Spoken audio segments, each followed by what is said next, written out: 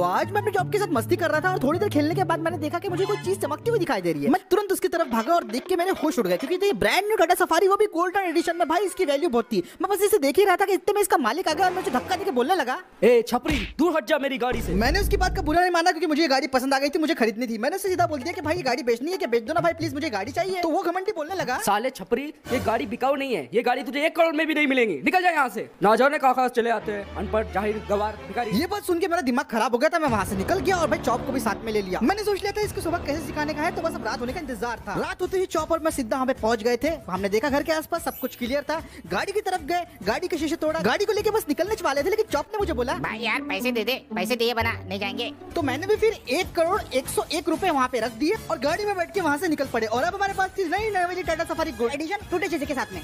आपको ये third live वाली वीडियो कैसी लगी कमेंट में ज़रूर बताना। साथ ही वीडियो को लाइक एंड शेयर कर दे।